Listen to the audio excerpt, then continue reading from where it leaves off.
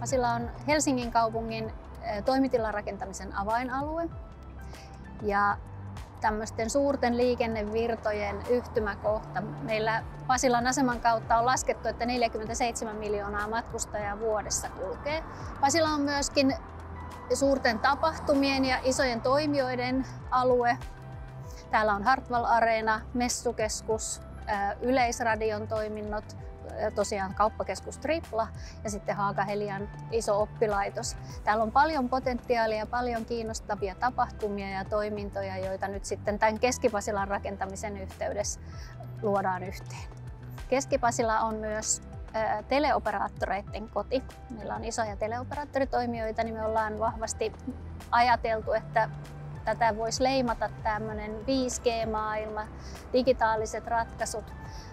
Keskipasilasta on tehty kaupunkimallin päälle rakennettu 3D-yhdistelmämalli, jota voidaan tosi laajasti hyödyntää. Lisäksi näitä 5G-verkkoja ja 5G-ratkaisuja hyödynnetään kauppakeskuksen yhteydessä ihmisvirtojen tarkasteluun tai niistä mahdollisesti erilaisten ratkaisujen kehittämiseen. Fiksu kaupunki auttaa meitä kehittämään logistisia uusia ratkaisuja, miten kulkea työmaiden ohi, miten käyttäjät, tavalliset kadun kulkijat, kun tulee työmaa keskelle, niin miten tilapäiset reitit esimerkiksi pystytään opastamaan mobiilisti ja ajantasaisesti. Sitten meillä rakennetaan varsin paljon täällä Keski-Pasilas edelleen ja tullaan rakentamaan vielä vuosia.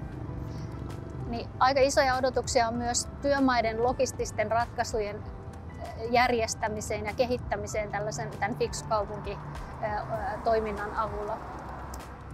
Omat odotukseni on ennen kaikkea rakentajien suuntaan ja toiveeni sinne suuntaan, että voitaisiin yhteisesti Fiksu kaupunki hankkeen yhteydessä jalostaa niitä rakentamisen prosesseja ja tekemisen tapaa löytää uusia keinoja tehostaa toimintaa ja hyödyntää siinä tätä digitaalista kaupunkimallia tai erilaisia uusia logistisia ratkaisuja, mitä sitten tuleekaan.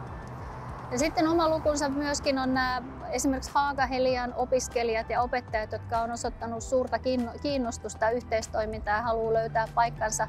Mä luulen, että siellä saattaisi olla myös heidän ja näiden aikaisemmin mainittujen isojen toimijoiden välillä aika paljon yhteistyöpotentiaalia, jota fiksu kalasatama ja fiksu kaupunkiratkaisujen avulla voitaisiin viedä eteenpäin.